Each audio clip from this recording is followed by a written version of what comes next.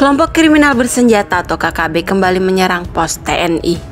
Penyerangan oleh KKB ini terjadi pada 4 Juli 2023 sekitar pukul 11.45 waktu Indonesia Timur.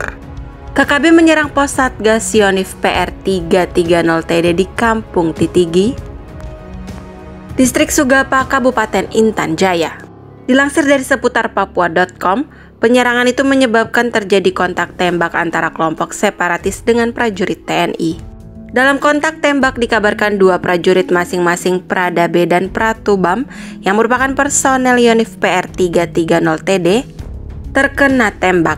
Serangan KKB wilayah Intan Jaya pimpinan Daniel Aibon Kogoya Komandan Batalion Kodap 8 Intan Jaya ini mengakibatkan satu personel Satgas Yonif PR 330 TD Pos Titigi atas nama Prada Bilkis terkena tembakan di bagian tangan kanan tembus ke bagian perut sebelah kanan.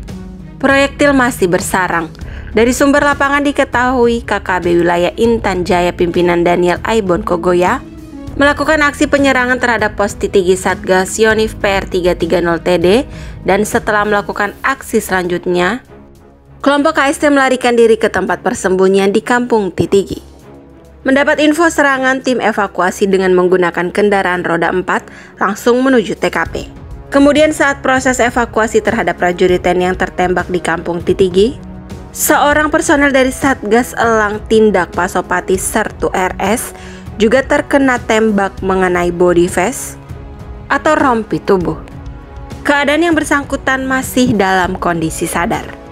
Korban Prada B yang mengalami luka tembak di bagian pinggang dilaporkan telah dievakuasi dari Kabupaten Intan Jaya ke Mimika untuk mendapatkan penanganan medis lebih lanjut di RSUD Mimika.